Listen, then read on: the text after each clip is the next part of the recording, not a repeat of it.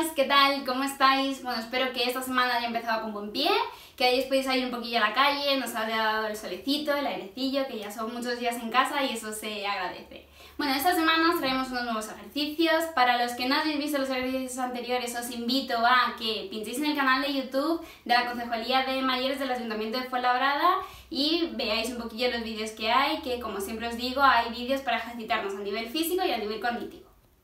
Os recuerdo que la semana pasada trabajamos las funciones ejecutivas. Para aquellos que no hayáis visto el vídeo, os invito a que le veáis, para así no fijarnos en la solución. Y para aquellos que ya lo habéis hecho, recuerdo que hubo un ejercicio que dejamos sin resolver, que era un cuento desordenado, entonces si os parece, le resolvemos en un minutillo y ya empezamos con lo de esta semana. Para la resolución yo voy a coger mi chuletilla que si no, no me acuerdo cómo era. Os recuerdo que la semana pasada os decía que no hace falta que escribieseis el párrafo entero, que con decir la primera palabra o incluso señalar los colores algo así, que nos hiciese a nosotros saber cuál es cada párrafo, me vale. De todas maneras, yo los voy a leer enteros y aparte os pondremos las primeras palabras de cada párrafo para que si hay alguna duda, pues lo podamos ver también y no haga falta estar parando, retrocediendo el vídeo, etc. ¿Vale? Si os parece, vamos a ellos. Primer párrafo. Érase una vez un cedro satisfecho de su hermosura. Segundo párrafo. Plantado en mitad del jardín, superaba en altura a todos los demás árboles. Tan bellamente dispuestas estaban sus ramas que parecía un gigantesco candelabro. Tercer párrafo. Si con lo hermoso que soy diera además fruto, se dijo, ningún árbol del mundo podría compararse conmigo. Y decidió observar a todos los árboles y hacer lo mismo con ellos. Por fin, en lo alto de su erguida copa, apuntó un bellísimo fruto. Tendré que alimentarlo bien para que crezca mucho, se dijo. Tanto y tanto creció aquel fruto que se hizo demasiado grande. La copa del cedro, no pudiendo sostenerlo, se fue doblando, y cuando el fruto maduró, la copa, que era el orgullo y la gloria del árbol, empezó a tambalearse hasta que se tronchó pesadamente. ¿A cuántos hombres como el cedro su demasiada ambición les arruina? Este sería el orden del cuento, ya habéis visto que no era muy difícil, aún así si habéis tenido algún error, hay algo que no cuadra mucho, os recuerdo que podemos visualizar el vídeo de la semana pasada para repasar un poquillo los párrafos y ver cuál es cuál. ¿Qué tal este ejercicio? Espero que haya ido bien y ahora, si os parece, vamos a centrarnos ya en los ejercicios de esta semana. Esta semana os propongo unos ejercicios para trabajar el razonamiento. Vamos a trabajar, por un lado, razonamiento matemático, en la parte más eh, de números, podemos decir, y otra parte en la que trabajaremos más el razonamiento verbal. ¿Por qué es importante el razonamiento? Al final el razonamiento, sin darnos muchas veces cuenta, está en nuestro día a día. Cuando vamos a hacer la compra, por ejemplo, el fijarnos en los precios de unos otros productos, ahí estamos razonando de manera muy muy rápida por qué puedo elegir este bote de piña y no el otro, por ejemplo. Y a nivel de razonamiento verbal, en nuestro día a día, en todas las interacciones que tenemos, siempre tenemos un pequeño razonamiento verbal, no elegimos las palabras al azar, sino que construimos un poquillo nuestro lenguaje y así nos podemos comunicar. Ahora que ya sabemos lo que vamos a hacer esta semana, vamos a por el primer ejercicio. En este primer ejercicio, como os he comentado, vamos a trabajar el razonamiento matemático. ¿Qué necesitamos para ello? Imprescindible, un papel y un lápiz o un bolígrafo. Ya sabéis que yo siempre prefiero el lápiz porque si nos equivocamos es más fácil poder borrar. Con el boli, sin embargo, tenemos que hacer tachones. Simplemente eso, que no tenéis un folio en un cuaderno, me da igual, una hojilla y un lapicero. Y vamos a por ello. Vale, para este primer ejercicio, como os había dicho, necesitamos un folio. Esto, si queréis, lo podemos copiar, sino con que copiéis estos cuatro simbolillos de aquí es suficiente. Os explico un poquillo la dinámica. Como veis, tenemos una serie de sumas y de restas, pero nos faltan números. Tenemos unos huecos en los que en vez de números tenemos unos simbolitos.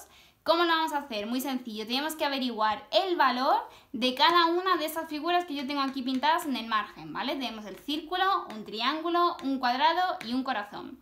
Ya veis que mis dibujos no son ninguna obra de arte, entonces no os preocupéis si salen un poco chuchurríos.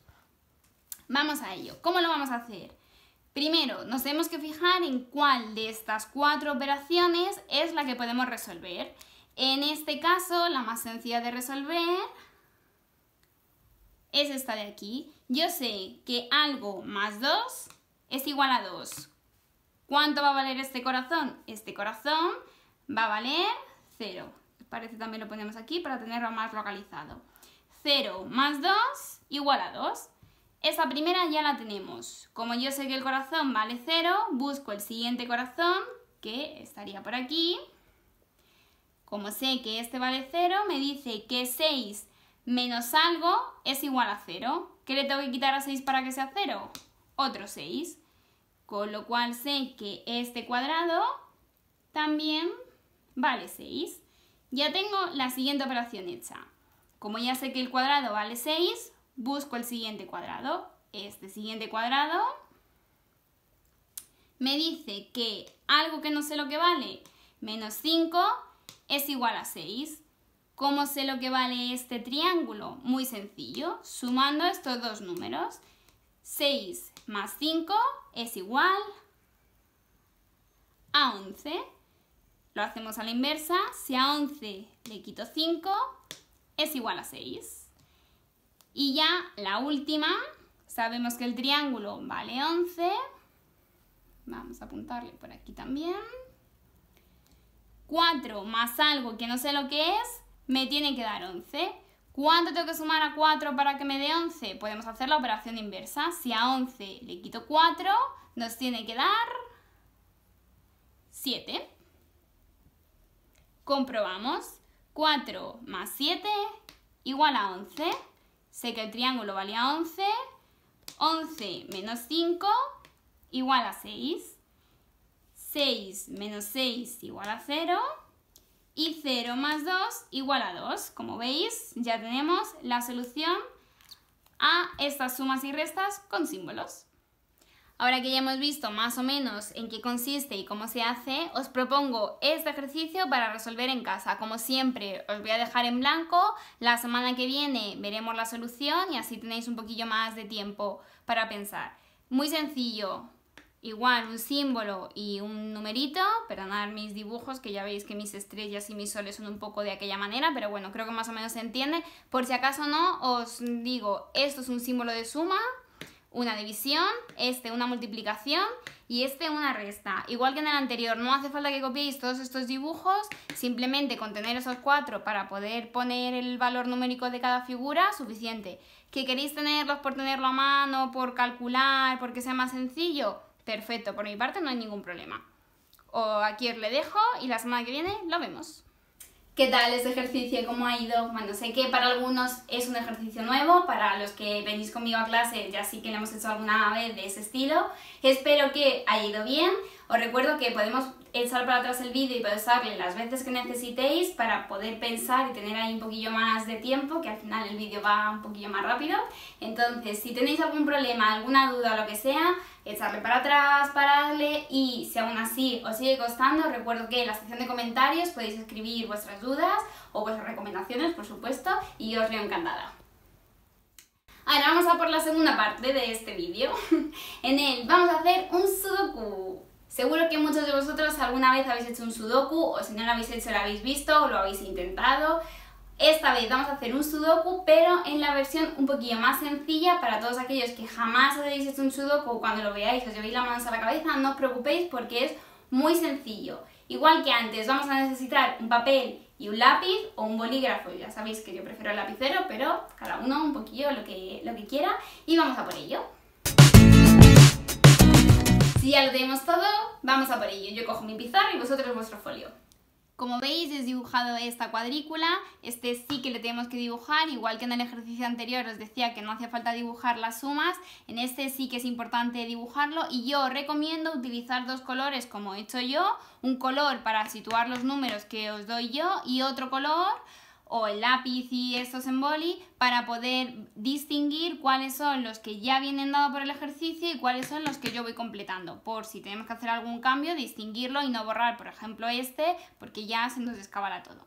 Si os parece, vamos a hacer este de ejemplo y luego os propongo uno, os dejo uno para hacerle tranquilamente y la semana que viene lo vemos.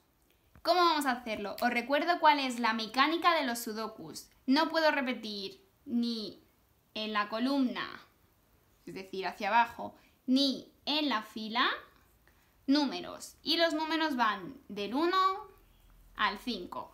Este primero, ¿en cuál me voy a fijar? Aquí puedo empezar por 2. Podría empezar por esta fila de aquí, porque solo me falta uno. o por esta fila de aquí por el mismo motivo. Si os parece, empezamos por la de arriba y vamos un poco de arriba abajo. Si os fijáis en esta fila yo tengo 1, 2, 4 y 5.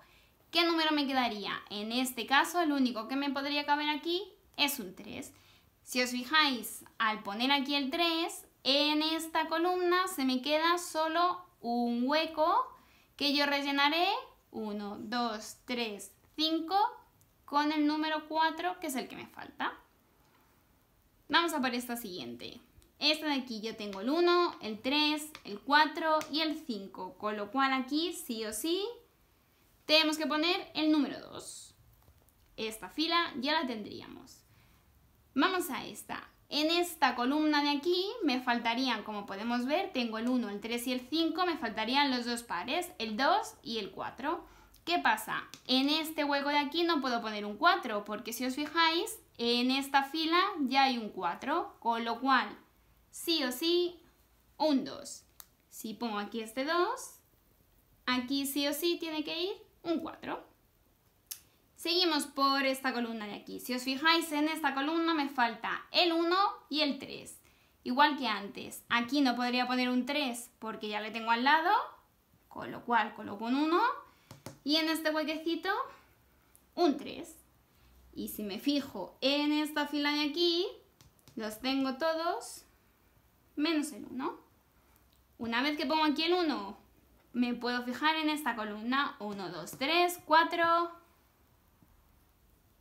y 5.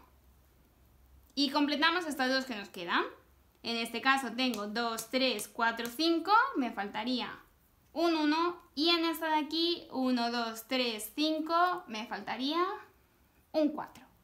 Si os fijáis, cada fila y cada columna tiene que tener los números del 1 al 5 sin repetirse. Comprobamos que no haya ninguno repetido y ya estaría. Como os he dicho, os dejo por aquí este sudoku. Recuerdo que las reglas son que tanto en las columnas, es decir, hacia abajo, como en las filas, ¿vale? De derecha a izquierda, no puedo repetir los números del 1 al 5. Y os recuerdo, el truco siempre buscar qué columna o qué fila solo tiene una incógnita, es decir, solo le falta un número. ¿Qué tal? ¿Cómo ha ido este sudoku? Bueno, para aquellos que no lo habéis hecho nunca, espero que más o menos haya salido. No os preocupéis si no ha salido la primera, porque es un ejercicio bastante difícil. Aunque nosotros lo hemos hecho un pelín más sencillo, sigue siendo difícil porque es cuadrar cada número donde tiene que estar. Para los que no os haya salido, os haya costado mucho, lo que sea, os recuerdo que podemos pausar el vídeo, echarle para atrás y así tranquilamente lo hacéis en casa, probáis distintas combinaciones hasta que tengáis la adecuada y listo. Ahora, si os parece, vamos a complicar un poquillo más el ejercicio. Ya hemos hecho el sudoku, como todos lo conocemos, con sus números, pero ahora vamos a hacer un sudoku con vocales. La dinámica del sudoku de letras es exactamente igual que el sudoku de números. Lo único que tenemos que cuadrar las vocales para que no se repitan ni a lo largo ni a lo ancho de nuestro cuadrado. El resto es exactamente igual, no os preocupéis que ahora para pizarra lo vemos más claro y vamos a ello. Como veis, hemos vuelto a dibujar la cuadrícula. En este caso hemos cambiado los números por letras, por vocales simplemente, que si no tenemos un montón. Entonces, dinámica exactamente igual que en el ejercicio anterior. No puedo repetir ni hacia abajo, es decir, ni en la columna, ni hacia la derecha o izquierda, es decir, en la fila, en este caso las vocales, ¿vale? Las cinco vocales. De tal manera que en cada fila tienen que estar las cinco presentes sin repetirse. Como antes, vamos a buscar qué fila o qué columna solo tiene una incógnita. En este caso de aquí no hay ninguna que solo tenga una incógnita. Podemos empezar, por ejemplo, por esta primera que tiene dos incógnitas. En ese caso, ¿qué vocales nos faltarían? Tenemos la A, tenemos la U y tenemos la O. Es decir, nos faltarían la I y la E. Como antes, aquí tengo una E, con lo cual sé que aquí es imposible que vaya la E ponemos la I y en el otro huequecillo ponemos la E. Vale, visto esto, como el ejercicio es igual que el sudoku de números, os dejo el resto en blanco para que lo intentéis en casa. Os recuerdo que podéis borrar las veces que queráis, podéis repetirle si no os sale bien a la primera. Sí que os aconsejo que, lo que os he dicho antes, tengamos dos colores distintos para las letras que os doy yo y para las letras que ponéis vosotros, o bien estas letras escribirlas en boli y estas a lápiz por si hay alguna equivocación o algún error que podamos borrar y no lo emborronemos y tengamos que reconstruir de nuevo la cuadrícula. Y si os parece, os lo dejo por aquí. La semana que viene vemos tanto el que os he propuesto en el ejercicio anterior del sudoku de números como este poquillo de aquí. ¿Qué tal este nuevo ejercicio? ¿Cómo ha ido? Ya sé que este es un pelín más difícil porque no estamos acostumbrados a hacer estos sudokus con letras, pero bueno, eso también nos viene muy bien para trabajar nuestra flexibilidad cognitiva, que recuerdo que hablamos de ello, me parece, en el primer, segundo vídeo. Para quien no lo hayáis visto, pues es simplemente la capacidad que tenemos de adaptarnos a las nuevas circunstancias. Hemos cogido una tarea más o menos conocida por todos, como es el sudoku, y le hemos dado una vuelta de hoja cambiando esos números por letras. Bueno, esta semana ya parece que nos acercamos un poquillo más al final, que además hay solecito que nos acompaña y eso siempre alegra el alma, aunque todavía nos queda un poquillo para poder ver a los nuestros y abrazarlos, parece que ya poco a poco nos vamos acercando. Como todas las semanas os traigo una recomendación de libro. La semana pasada hablamos del libro de Eduardo Mendoza, El Rey Recibe, y esta semana os traigo este libro de Manuel Javois, que es un periodista para que no le conozcáis, que nos relata uno de los hechos más tristes y más negros de nuestra historia, como es el 11M. Es un libro que está bastante bien, es intenso y te llega un poquillo al corazón, pero muy recomendable. Os recuerdo que podéis dejar vuestros comentarios abajo del vídeo, cualquier cosa, sugerencias, críticas, cosas que queráis que repitamos, cosas que no os hayan gustado, cosas que os hayan resultado difíciles o sobre las que tengáis dudas. Cualquier cosa es bienvenida. Y os recuerdo que en el canal de YouTube de la Concejalía de Mayores del Ayuntamiento de Fuenlabrada hay multitud de vídeos, tanto de ejercicios físicos como de ejercicios más a nivel cognitivo, consejos, etc. Os invito a que paséis por allí, le echéis un vistacillo y os entretengáis un poquillo, que así se nos hace un poquillo más a menos. Ya sabéis, un día más es un día menos.